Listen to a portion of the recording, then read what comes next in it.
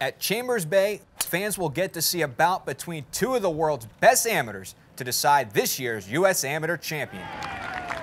David Chung versus Peter Uihlein.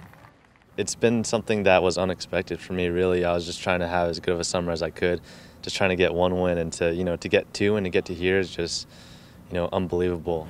You know, tomorrow will be fun. You know, we've played together for a long time, and uh, you know it's it's nice that you know you get to go up against a friend. So. To get to the finals, Chung defeated last year's U.S. Amateur champion Byung Hun An one up after being three down through nine holes.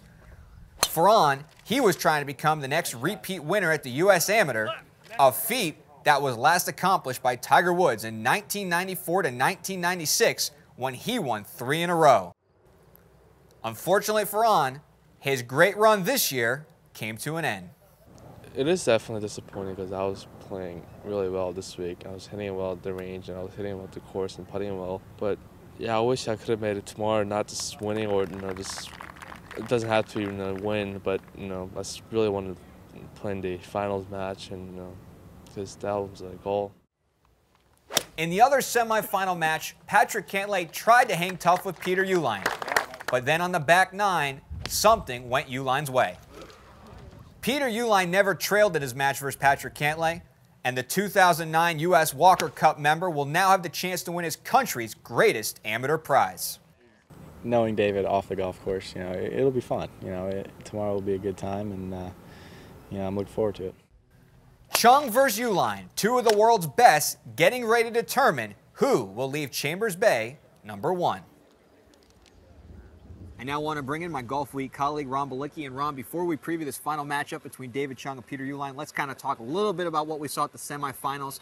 Yesterday, you and I said that Byung Hun An had to be a little bit more aggressive. He was six under through six holes. He still lost. I know, unbelievable, isn't it? I mean, six under through six holes, three up after nine. But you know, it, it was even like we talked yesterday. David Chung is a grinder, yeah. and and he's gonna, you know, he's not gonna get rattled. He's gonna go out there He's going to do what he has to do, and he did it today. Yeah. And then on the other side of the board, you know, Peter Uihlein, yes, he is now in the finals, but hasn't it been kind of quiet week for Peter? I mean, yeah, he's been winning, we've been talking about, but he's kind of well, flown under the radar, well, hasn't well, he? Well, he because he hasn't blown anybody out. Right. I mean, his first four matches all went at least 17 holes, two of them to 18, one to 19. Yeah. So it, he really hasn't blown anybody out till today, finally. Well, Ron, let's now talk about this final matchup. David Chung versus Peter Uihlein, arguably the top two amateurs this summer.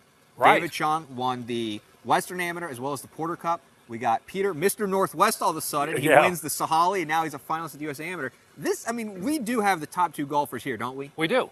Uh, you know, in uh, the Golfweek, uh, in golf, amateur golf rankings, they rank two and four, and one and three are foreigners. They, they're not here. Right. So, I mean, you couldn't ask. I mean, if you started at the beginning of the week with 312 players and said what would be the ideal final match, this would be it. And we've been waiting all summer for somebody to kind of be Mr. America here in the amateur golf world. And now we're going to get it. that was you. No, no, not me. I don't have a belt buckle like Scott Langley. But the point is, we're now going to have it. One of these yep. two guys really is going to earn that title of the top amateur of the summer. Right.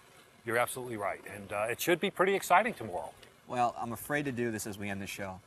I don't even know if we should even do this to end the show. Do we have to do a pick? Do I have to have you kiss, give the kiss of death to somebody? Yeah. What well, do you think? well, I'm taking David Chung because that's been my pick all along. I have golfweek.com well, to prove it. So here's the way I figure it. If I if I pick Peter, uh-huh. I think that by and he loses next week sometime, he's going to make that five-hour drive from Stillwater, Oklahoma, to my house in Arkansas. He's going to kidnap me, tie me to a pine tree, Please don't say Chung. and Please leave me Chung. there Please for for uh, a black bear oh, brunch. God. He's going to say Chung. So, with that in mind, and I like the way David's playing lately. Right. And I couldn't stand Uh-oh. for you for the next year to be gloating that David Chung, you know, was your pick and you won it. So I'm picking David Chung. Oh, no.